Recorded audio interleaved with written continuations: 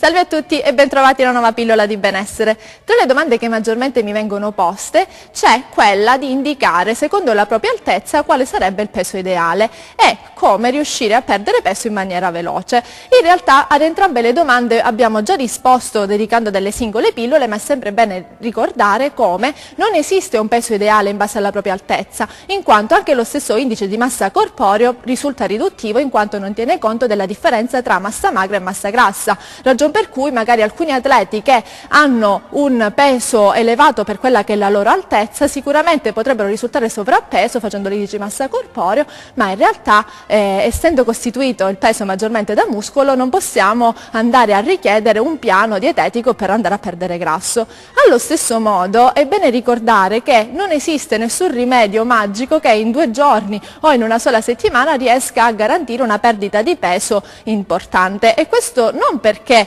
ci si voglia andare a far perdere tempo al paziente, ma perché il nostro corpo ha bisogno del tempo necessario per far sì che il peso venga perso in maniera salutare, ma soprattutto venga perso per sempre. Tant'è vero che in seguito a questi regimi nutrizionali molto drastici che di solito fanno sì che sì, si arrivi a perdere 2, anche 10 kg nell'arco di una settimana, però vi garantisco, e magari alcuni di voi ne sono anche testimoni, come una volta lasciato quella eh, follia nutrizionale seguita si va a riacquisire il, peso perso addirittura con gli interessi.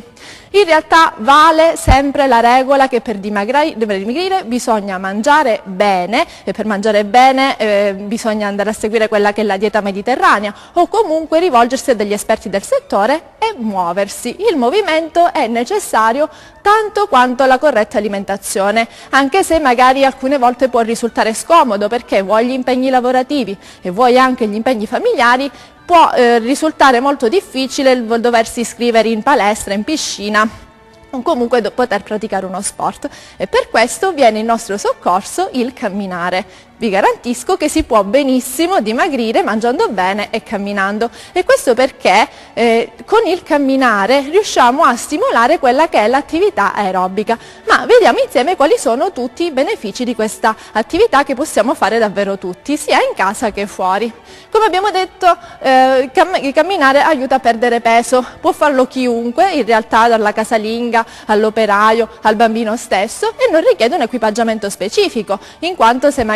eh, fatto dentro casa a qualunque ora può essere fatto è bene o male al massimo un tappeto se non si vuole uscire quindi ci si riesce ad organizzare in una maniera anche molto semplice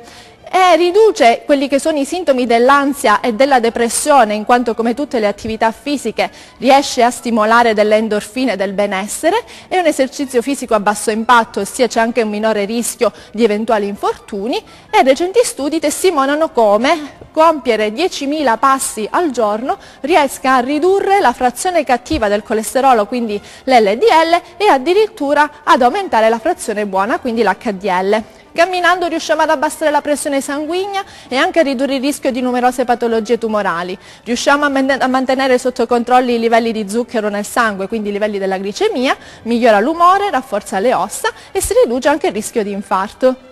abbassa la possibilità di eventuali infortuni, si riduce lo stress e anche il rischio di malattie cardiache. Ovviamente abbiamo già detto che riesce a mantenere tonico il tessuto muscolare, riesce a tenere in forma ed è un'attività non a pagamento. Però è anche importante capire come camminare, ossia esistono alcune credenze nelle quali si pensa che magari bisogna correre tantissimo per bruciare maggiori, maggiormente grassi. In realtà non è così, in quanto bisogna far sì che si mantenga un'attività fisica costante per almeno 30 minuti nella soglia aerobica e magari potrebbe anche essere interessante andare a calcolare quella che è la frequenza cardiaca di ognuno di noi per vedere la frequenza appunto nella quale si vanno a bruciare grassi. E questo fa sì che camminando bene il consiglio che io do è quello di camminare come se si fosse in ritardo ad un appuntamento quindi a passo un pochino svelto senza però affaticarsi così come è bene lasciare il corpo comunque rilassato mentre si cammina e far ondulare le braccia in maniera che non solo le gambe traggano beneficio da questa attività,